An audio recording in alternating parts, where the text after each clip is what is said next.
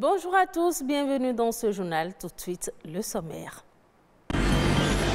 Session ordinaire de l'Alliance pour le biodigesteur en Afrique de l'Ouest et du Centre. Le conseil d'administration a tenu à Cotonou sa troisième session. Le compte rendu de cette rencontre dans ce journal. Sensibiliser les populations pour le respect scrupuleux des mesures préventives contre le paludisme, c'est le défi à relever d'ici 2030. On s'intéresse dans cette édition aux mesures de prévention contre le paludisme. Le conte, un véritable acte qui relate des récits dans le but d'instruire ou distraire ceux qui écoutent. Même s'il est en voie de disparition, le conte occupe une place importante dans la société.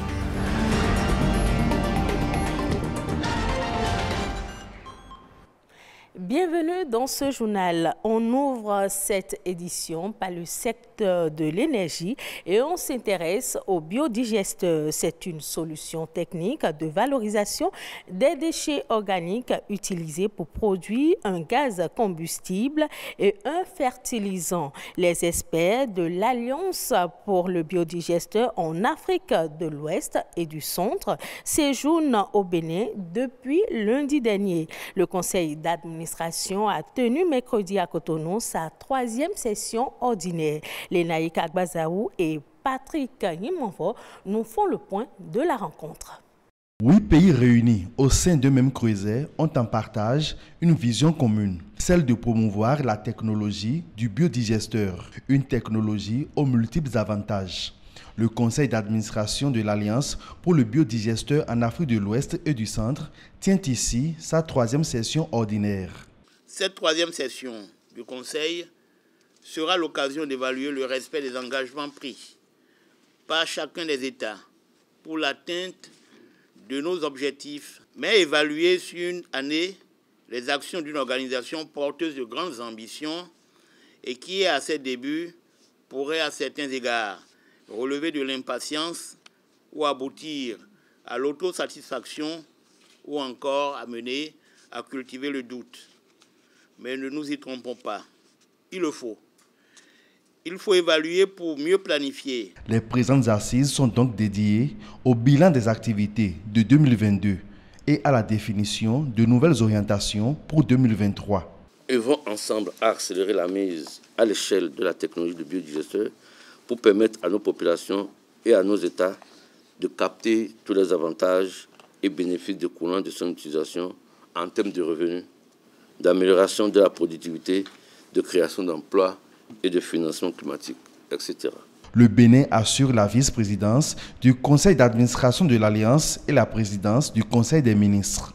C'est une grande responsabilité et un défi pour notre pays. Les résultats montrent que la responsabilité a été convenablement assumée et les défis efficacement relevés. Sont membres de l'Alliance pour le biodigesteur en Afrique de l'Ouest et du Centre le Burkina Faso, la Côte d'Ivoire, la Guinée, le Mali, le Niger, le Sénégal, le Togo et le Bénin.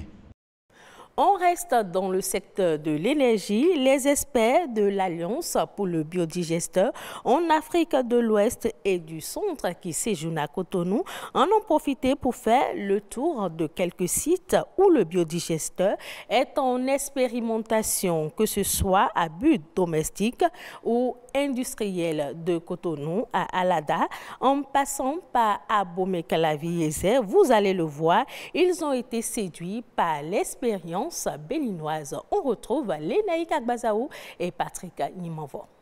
C'est ma qualité de vie qui a augmenté. Une technologie domestiquée qui fait la joie de Dame Bernadette Toko, ici à Kassato, commune d'Abomey-Calavi. Elle a réussi à se faire installer un biodigesteur de 4 mètres cubes à domicile et en savoure les merveilles. Son témoignage a eu un écho retentissant elle reçoit aujourd'hui la visite d'une délégation de l'Alliance pour le biodigesteur en Afrique de l'Ouest et du Centre. Le gaz que vous obtenez dépend des déchets que vous mettez. Quand vous chargez beaucoup de déchets, vous avez beaucoup de gaz. Il n'y a pas de risque. Le biogaz, c'est naturel. Et là, quand ça s'évapore, c'est vraiment avec sécurité.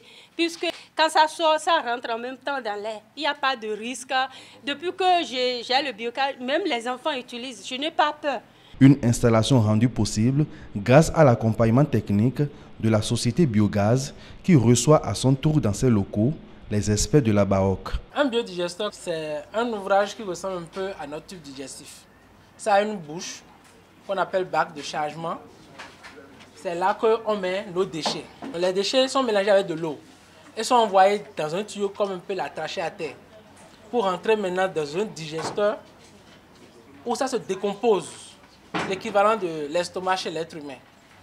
Alors, c'est une fois que ce déchet est décomposé que le gaz se met à part de l'engrais organique.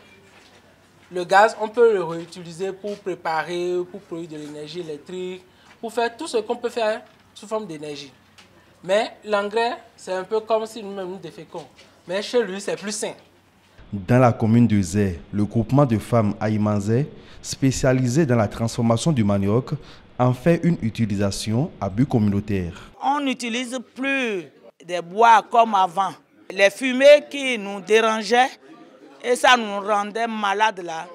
on ne voit plus ça là. Venu s'imprégner de l'expérience béninoise en la matière, la délégation de la Baroque s'est aussi rendue à Alada pour visiter les installations des sociétés biophyto et du projet de gestion des déchets solides ménagers. Je pense que le, Bénin aujourd'hui est vraiment dans un élan qui va l'amener loin. Et toutes ces initiatives que nous avons vues, avec des conditions ou des mesures incitatives qui sont en train d'être mises en place par le gouvernement, je pense que c'est tous ces ingrédients qui permettent de dire que le, Bénin est sur la bonne voie.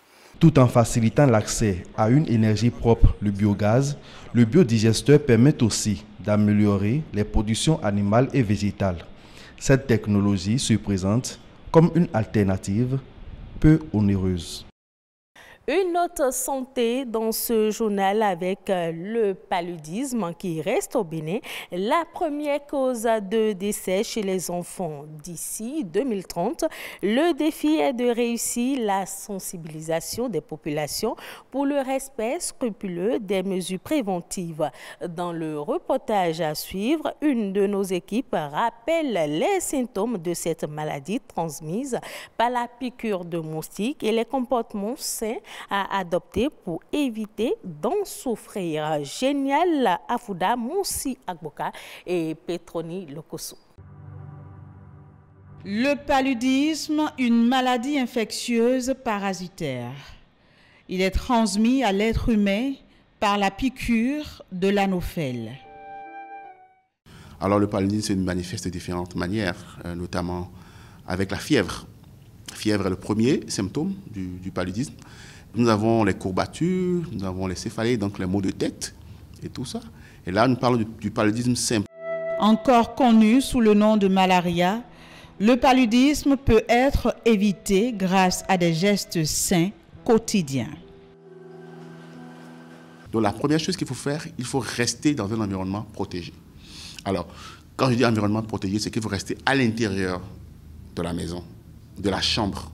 Il ne faut pas rester dehors à partir de 18 heures, il faut être à l'intérieur. Il faut forcément avoir, je dirais, euh, des protections, donc des grillages, lorsque nous sommes en zone urbaine, et forcément dormir sous moustiquaire. Le plus important, ça j'insiste beaucoup sur ça. Dormir sous la moustiquaire. Il faut que l'environnement soit propre. Si l'environnement est propre, cela veut dire qu'il n'y aura pas des poches d'eau. Vous allez voir que lorsqu'il pleut, il y a des poches d'eau qui restent dans les maisons. Vous allez voir aussi que lorsque nous cuisinons, parfois aussi, nous, nous laissons de l'eau pardon, traîner un peu partout dans la maison, soit dans un seau ou dans un bol et tout ça. Alors, c'est les endroits que les moustiques aiment pour aller pondre leurs œufs. Alors, donc, nous devons empêcher la prolifération des gîtes larvaires, la prolifération des endroits où le moustique pourrait pondre. En l'absence de traitement, la malaria peut évoluer vers une affection grave, voire mortelle. La oratoire est le moyen à travers lequel celui qui l'exerce transmet des sentiments et des émotions. Il met un point d'honneur sur la culture et la problématique de la société. Jadis utilisé par nos aïeux pour se divertir tout en éduquant, le conte est petit à petit en train de disparaître. Pourtant, nul n'ignore son importance. Boris Agossadou, ingénieur culturel, revient ici sur le rôle et la place des arts de l'oralité au sein de la société. Les arts oratoires, euh, c'est tout ce qui est à rapport au récit, à la voix. Euh, c'est l'art de communiquer, de transmettre, n'est-ce pas, euh, une conviction, une idée, à travers la voix, à travers les gestes, à travers les émotions. Après, la colonisation faisant son chemin, Senghor, principalement, et toute une catégorie d'écrivains ont connu euh, euh, l'écriture. Et ceux-là étaient les pionniers de, la vraie oralité. Parce que c'est eux qui ont transcrit. C'est eux qui ont remis ce que les, anciens disaient. Voilà, c'est eux qui ont mis ça dans des bouquins. Le rôle de l'art oratoire, euh, c'est comme euh, tout art. C'est de, changer des comportements, n'est-ce pas? De décider, de, faire, de, permettre, n'est-ce pas, à ceux qui peuvent décider de décider. C'est de développer, c'est de changer, n'est-ce pas, des, des, méthodes de vie, des, des comportements de vie, d'adopter des bonnes pratiques. Ils ont toujours à la fin ou au début une leçon de morale leçon de morale. Et quand vous écoutez cette, vous suivez cette leçon, alors là, vous êtes, vous changez. Au moins, vous vous rappelez qu'il y a telle chose qui a été dite à un moment donné par tel orateur, le conteur, il peut, sur des, faits de société, peut se décider, n'est-ce pas, euh, de parler, par exemple, de ceux qui brûlent le feu, ou ceux qui ne s'arrêtent pas au feu, de, voilà, vous comprenez, ceux qui urinent dans en pleine rue, vous voyez, ceux qui... Voilà. Donc, euh, forcément, ceux qui s'y intéressent et s'y collent changent. L'actualité au plan international, c'est dans EcoInter qui porte la signature de Héloïse Winaton.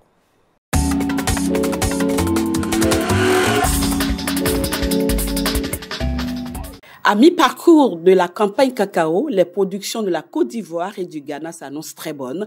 Les experts commencent à envisager l'année 2023 en termes de volume et de prix. Et à ce stade, la récolte principale qui a démarré en octobre en Afrique de l'Ouest s'annonce bien meilleure que prévu chez les deux géants du marché. Selon le dernier rapport de l'Organisation internationale de cacao ICO, les postes ivoiriens ont reçu début janvier 11% de fèves en plus par rapport à l'année dernière. Au Ghana, le bois est aussi spectaculaire. Les achats de mi-décembre ont augmenté de 76%.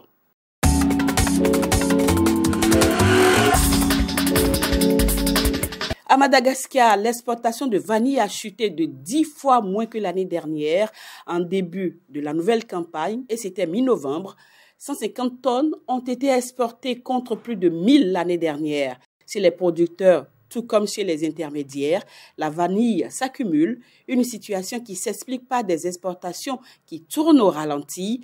Et si la grande île peine à vendre sa vanille, c'est à cause des acheteurs qui sont réticents à payer le prix fixé par les autorités, soit 250 dollars le kilo, un prix beaucoup plus élevé que celui pratiqué par d'autres pays producteurs.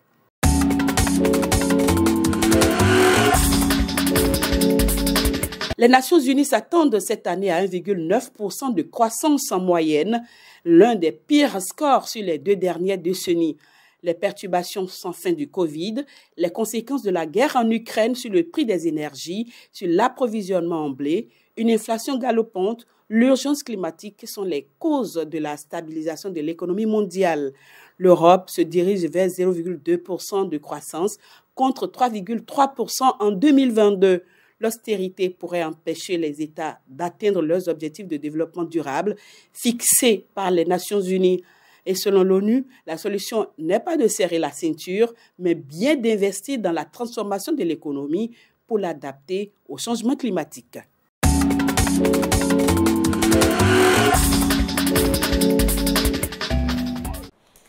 Sera tout pour cette édition. Merci de l'avoir suivi.